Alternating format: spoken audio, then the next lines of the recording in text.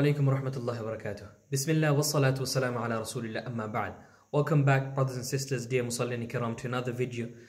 Today I would like to give you one small reminder inshallah and remind myself as well and at the same time we'll go through two du'as of the Prophet Muhammad sallallahu which, which are the du'as of protection inshallah and I want all of us to practice upon what we hear in this short video inshallah.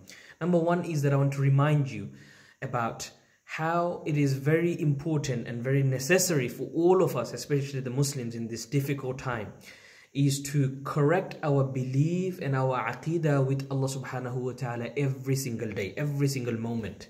Why? Whenever we hear subhanallah about the difficult things that are going around, we read the news, we see the news, we go outside, we see people are not there, the, the lockdown, etc. All of those, the uncertainty that we think of when things are going to to change the businesses and you know the life. Many things are at risk. The life of people are at risk subhanallah. One thing we have to remember every single day and we have to correct ourselves is that good and bad comes from allah. How allah gives us good times allah subhanahu wa ta'ala also gives us bad times.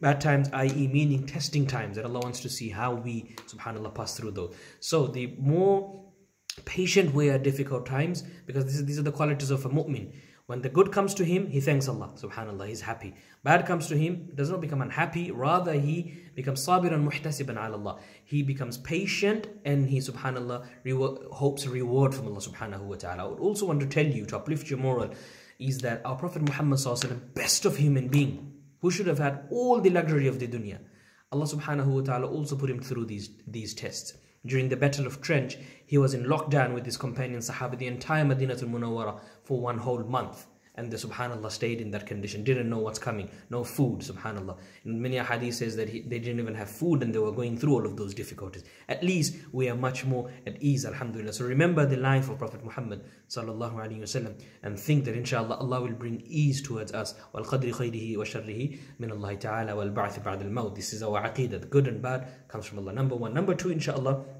I want to uh, show you two of the dua, the daily adhkar that inshallah you can learn and you can read them every single day. Not only in this difficult time, but even when we have easy time inshallah. And these are the two um, du'as or, or rather of, of protection from Allah subhanahu wa ta'ala. So I want all of us to learn this and our children as well.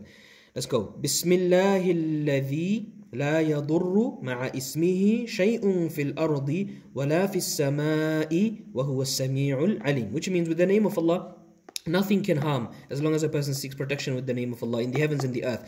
Nothing can harm that person. No jinn, no ins, nothing, subhanAllah. No coronavirus, nothing. وَهُوَ السَّمِيعُ alim And Allah is all seeing and all knowing. This is dua number one. Number two, أَعُوذُ بِكَلِمَاتِ اللَّهِ التَّامَّاتِ مِنْ شَرِّ مَا خَلَقَ That I seek refuge with Allah subhanahu wa ta'ala from Allah, from all those things which are evil, which could be harmful for a person, which was only created by He Himself, Allah subhanahu wa ta'ala. So anything that Allah created, I seek refuge with those. So, subhanAllah, these two du'as are really nice and beautiful. You could learn them every single day, inshallah. We'll go through some du'as that we could learn. I hope, O Muslims, O brothers and sisters, and myself, that we have spent today's day not only sitting at home in this lockdown, we have rather, subhanAllah, made uh, some istighfar, some tawbah, two rak'ah salat tawbah at least, establish all our prayers uh, did it ourselves, reminded our family about the difficult times, and inshallah we have done so with our children to get together and we spend inshallah productive day. May Allah subhanahu wa ta'ala forgive all our sins, the entire ummah, remove this difficult time, this plague from us, and please inshallah try to learn these du'as and practice in our daily life. Wa akhir rabbil alameen. See you in the next video. Assalamu alaikum wa rahmatullahi wa barakatuh.